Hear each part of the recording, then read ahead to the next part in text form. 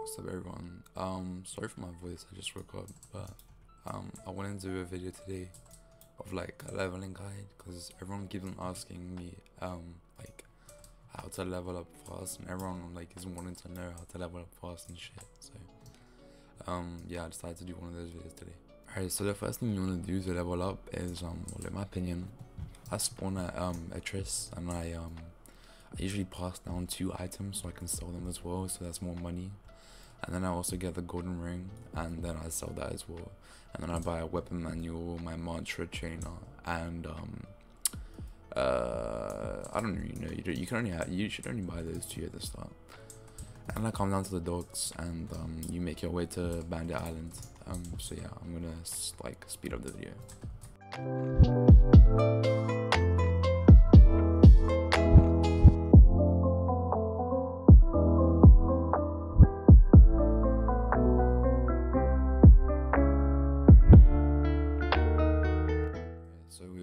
Island now, um, you're not gonna want to want to mess with those. Actually, you know what?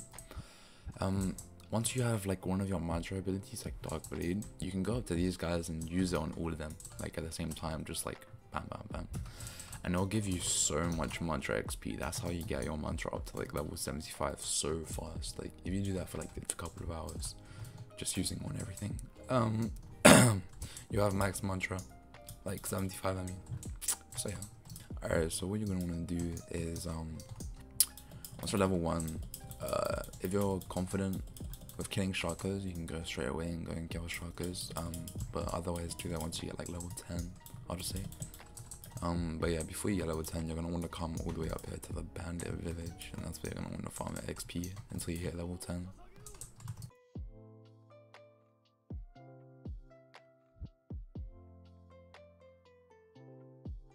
pandas can usually spawn here.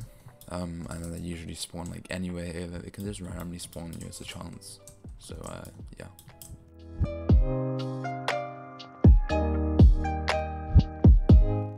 As you can see, people are already farming them. You're basically just gonna wanna farm uh, these bandits here. Like there's a bandit that spawns in there. Okay, this guy wants to attack me for some reason.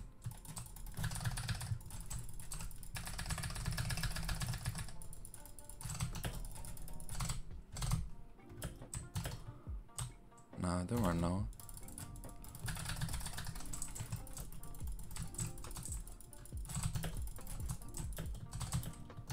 Nah, don't run now. Don't run now. Now.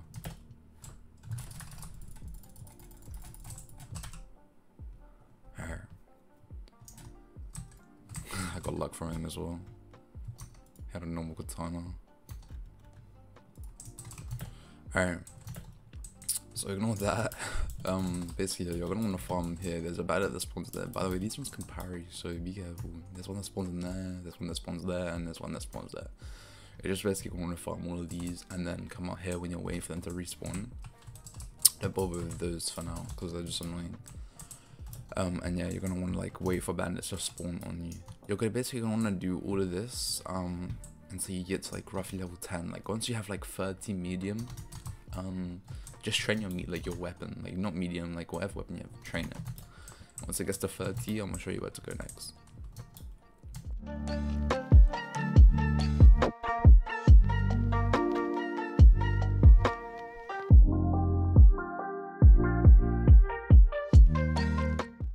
So this is for like when you have like 30 of your weapon. Um, I'd recommend to come here. You should usually be level like power 10 by the time you come here. And I'm gonna teach you basically how to like kill a Sharko at any level. Um, can I equip something that doesn't make do as much damage? I'll just equip a normal katana. Alright. Attack it twice, and then it's gonna do an attack. It usually kicks first, but it can swing twice, and then it swings twice. Well, it's already dead for me, unfortunately. But basically, what Sharkos can do, they either kick straight away, or they attack once and then they kick, or they attack once, attack once and then kick, or they attack twice and then kick. It can't attack twice and then attack once. It has to do a kick at the end. Um, from my experience, I've never had one that's done twice and then attacks again. Uh, but yeah, that's pretty much what you want to do. I'm gonna keep on using my normal katana just to show you, um, hopefully a little bit better. But yeah, uh, you don't want to ignore those. I don't know if that's alive or not. I don't think it is. But yeah, just stand in front of it. Oh yeah, and it can do that attack. You just can just parry it. All right, I messed up there. And you can roll. And it's already dead, unfortunately. I wish I could. that. I'm gonna do it on a um, either like a lower level account maybe sometime. I might make a video on that. Um, I don't really need to because there's people who already make those type of videos. Um, but yeah, that's pretty much what you want to do. You want to do this until um you like.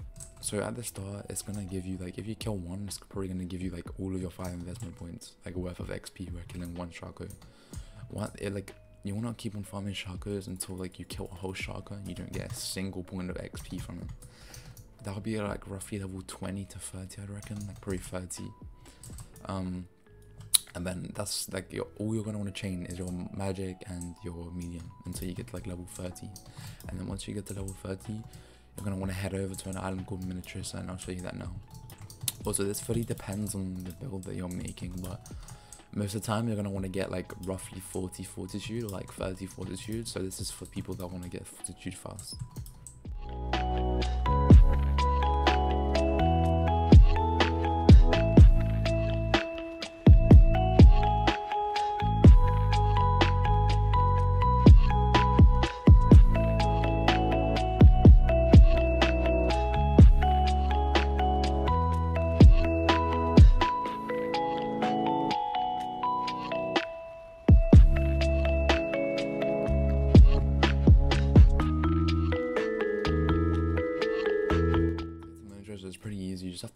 slipstream here from uh, Lower Bandit and um, Song Seeker's like in there, and then Minityrsa is over here to the right.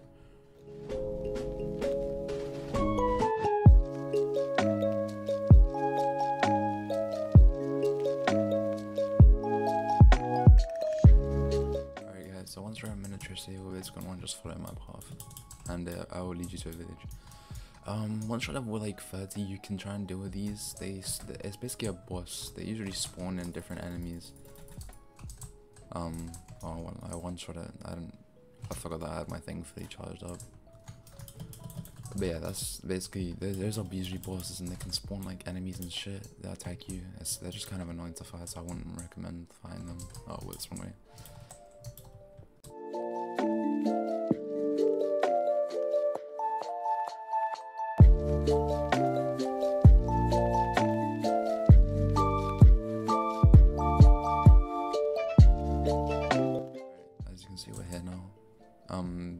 Spawn. They're like they're shadow users.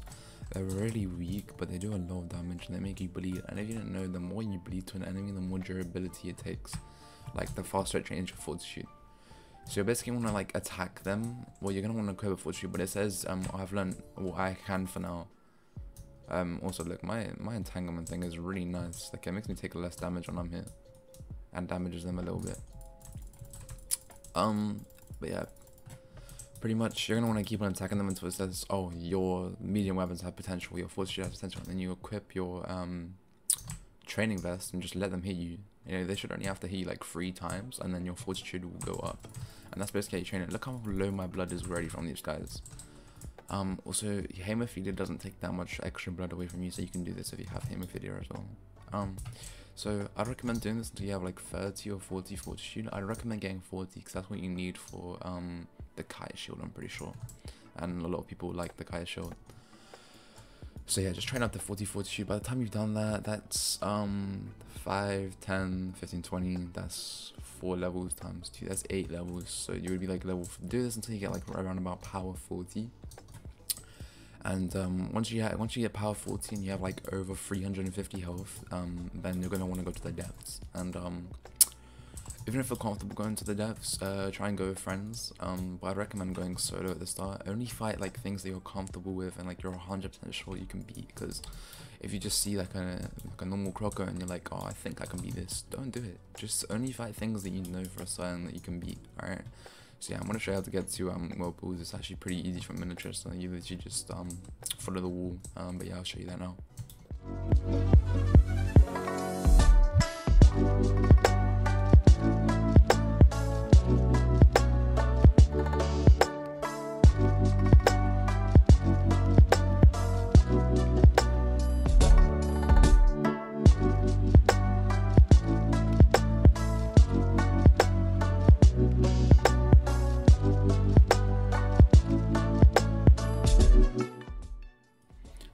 So once you're in the Void Sea, um, bubbles can appear, and if you go into a bubble, um, if someone's a lionfish, so wood bubbles if you're low level, or like you don't know how to handle them.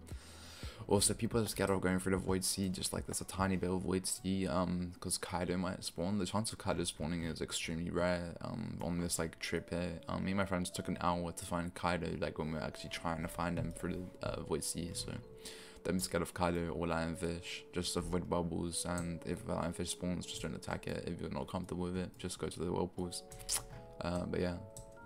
Also, to avoid, like, crashing your fucking boat into the depths, you're gonna wanna, like, break Oh, I think I did it a bit too late. Reverse a little bit. Alright, cool. So yeah. Um, so this is this way your boat doesn't get destroyed like fully. Because if you drive into the depths, your boat literally gets fully destroyed. Alright, so the only thing that I'm actually scared about in the depths right now is enhanced king crocs and enhanced owls. Um, those are the only things I'm really scared about, and two enhanced crocodiles. Uh, I'm not scared about anything else, but um, also cool.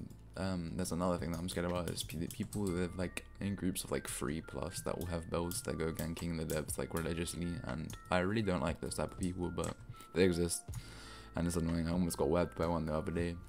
Um, but yeah, so I, I had a turtle thing over here. Let me try and find it again. Yeah, here. These things are easy to parry. You just spam parry when it's doing that thing, basically. And then when it stops, you can just hit it. To be honest, if you have a high amount of health, you can just spam hit them. And they won't really make a difference because they'll die before they even do enough damage to you. But they make you bleed a lot, so I'd watch out about that. Um. Alright, so that's pretty much how you kill the um the turtle things. I need to find a crocodile so I can show you how to kill the crocodile because a lot of people struggle with crocodiles. Like even Argomonster said in his video that he doesn't fuck with crocodiles. Um, and I don't blame him because they're really annoying to fight. But um, I'll try and find one for you. That's a shocker. I wonder where it is. I think it's down here. What the hell? Ah, that's so clearly. Might be at the, up at the top. I'm not sure. But yeah, I hope I found a crocodile in this video because um I really need to do one. Oh, crabs. Crabs are easy to kill. Basically, if you start attacking a crab, they can only attack in the direction they're facing until like they finish that move. Well, that, that's the two hits. Um, alright, well, I killed it too fast. But basically, it can either do two hits, you can parry both of them, or you can roll if you have like the thing that rolls twice. Um, what's it called? it can do a red attack. Um, like if you see red charging up on like one of its hands, it's gonna grab you. The only thing you can do is roll. It can also slam down right in front of it without jumping, like just slam down. Uh, you can parry that or roll it, and then it has this like final down where it jumps there and slams down. You have to time that pretty well, and then you can only dodge that. You can't parry it because it insta. I think you might be able to parry it, but I'm not sure. I've never tried, and I don't really want to because the timing's really bad. Um, but yeah, I recommend just rolling that. Also, if you're low level, don't ever try to um fight one of those king jellyfish, the queen jellyfish. it's not worth it. They have like too much HP. Even at my level, it takes me like a good minute or two to kill it, um, especially the enhanced ones. And they're so annoying. They do so much damage because they keep on just firing jellyfish at you. If you're lightning, I think the jellyfish don't attack you if you're a certain level, so it's easy for lightning users. But for people my level, it's uh, I mean, without lightning, it's like extremely annoying to fight this, but I still kill them at my level. But like, if you're low level, don't even try it. It's not worth it.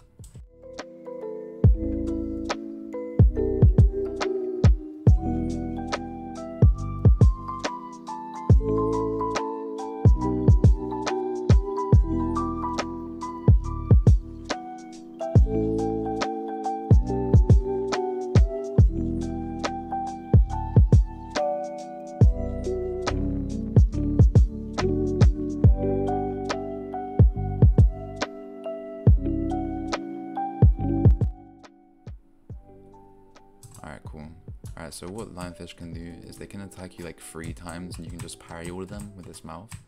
Like this. I'm pretty bad at parrying right now because my... I don't even know why I'm bad at parrying actually. Alright, so how to dodge this. As soon as it starts going down, you want to dodge. I fucked that up that time. I'll try and get a better example for you. But yeah, um, alright.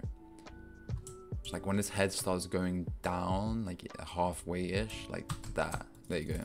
That's how you want to parry it.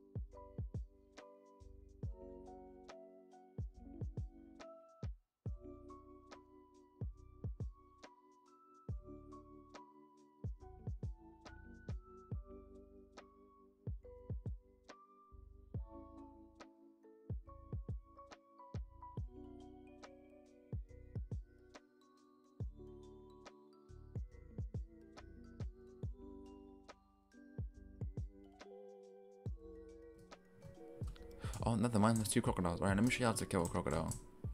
I'm trying not to trigger the other one. All right, so it has its two attacks, like those two slashes. It has the tail, which you can parry as well. So it has those two attacks, and it has this. Uh, once you see the red coming, you can dodge it. There's the tail. Oh yeah, and the mouth attack. You have to parry that three times. I don't know why my parrying is really bad in this server.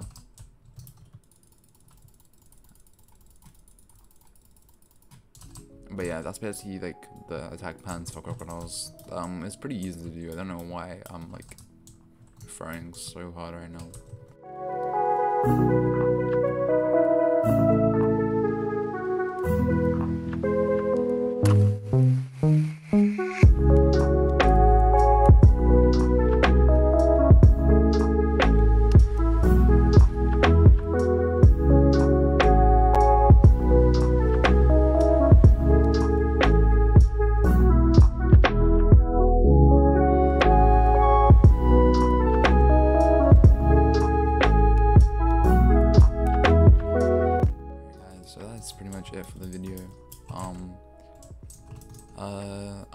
You for watching. Um, if you can subscribe, that'd be great. Cause I'm trying to hit 1k subscribers so I can start monetizing my videos. Cause um, uh, what's it called? it's hard to get money as a college student. But um, yeah, thank you so much for watching. Um, I hope you guys have a nice day. Goodbye. Now think about what you've done.